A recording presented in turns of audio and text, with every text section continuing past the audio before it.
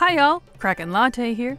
It's that time of the week again where I bring you some random fact that may or may not be helpful right out of my back pocket. That's right, this is a Kraken fact.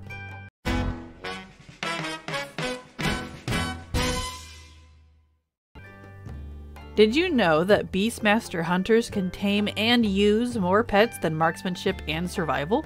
Not just more, but special unique pets called exotic beasts. You may be familiar with ones called spirit beasts, since those are quite popular, but there are more.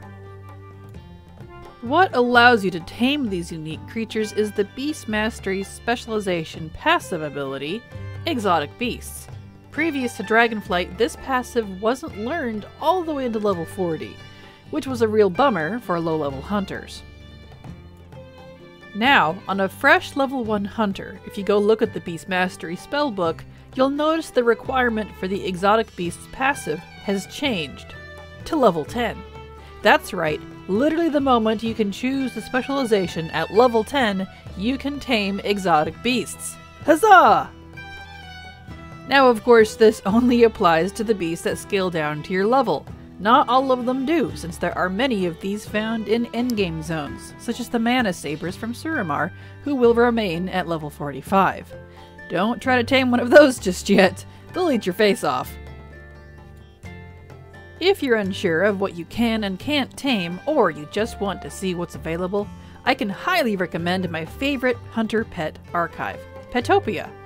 This website is lovingly maintained to feature every single pet you can tame as a hunter in game, and it even shows you where to get them. This site is neatly organized, easy to use, and is updated frequently to keep you in the know. Plus, all the pets are organized by family and even marked if they need something special. Look, here's the exotic beast families. Thank you, Petopia. This is awesome. And there we have it. If you think I've missed information or you want to request I do a specific guide, let me know in the comments below. Even if I don't answer you, I just might add your idea to my list. As always, thank you so much for watching, and remember, it's never too latte.